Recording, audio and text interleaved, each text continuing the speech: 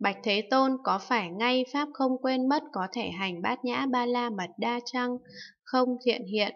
Bạch Thế Tôn có phải lìa Pháp không quên mất có thể hành bát nhã ba la mật đa chăng? Không, thiện hiện. Bạch Thế Tôn có phải ngay tánh luôn luôn xả có thể hành bát nhã ba la mật đa chăng? Không, thiện hiện. Bạch Thế Tôn có phải lìa tánh luôn luôn xả có thể hành bát nhã ba la mật đa chăng? Không thiện hiện. Bạch Thế Tôn có phải ngay trí nhất thiết có thể hành bát nhã ba la mật đa chăng? Không thiện hiện.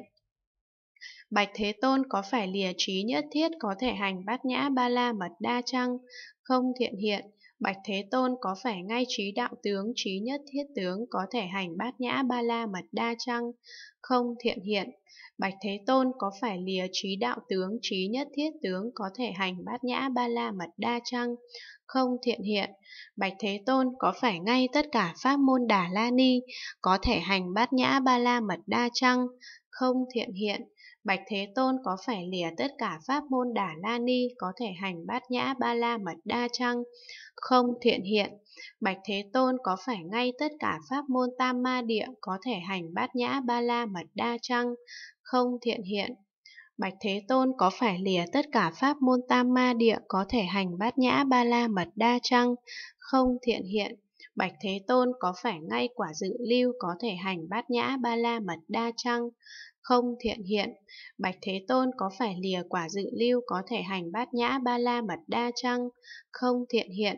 Bạch Thế Tôn có phải ngay quả nhất lai bất hoàn A-la-hán có thể hành bát nhã ba la mật đa chăng? Không thiện hiện. Bạch Thế Tôn có phải lìa quả nhất lai bất hoàn A-la-hán có thể hành bát nhã ba la mật đa chăng? Không thiện hiện. Bạch Thế Tôn có phải ngay quả vị độc giác có thể hành bát nhã ba la mật đa chăng? Không thiện hiện. Bạch Thế Tôn có phải lìa quả vị độc giác có thể hành bát nhã ba la mật đa chăng? Không thiện hiện. Bạch Thế Tôn có phải ngay tất cả hạnh đại Bồ Tát có thể hành bát nhã ba la mật đa chăng? Không thiện hiện. Bạch Thế Tôn có phải lìa tất cả hạnh đại Bồ Tát có thể hành bát nhã, ba la, mật đa chăng? Không thiện hiện. Bạch Thế Tôn có phải ngay quả vị giác ngộ cao tột của chư Phật có thể hành bát nhã, ba la, mật đa chăng? Không thiện hiện. Bạch Thế Tôn có phải lìa quả vị giác ngộ cao tột của chư Phật có thể hành bát nhã, ba la, mật đa chăng? Không thiện hiện.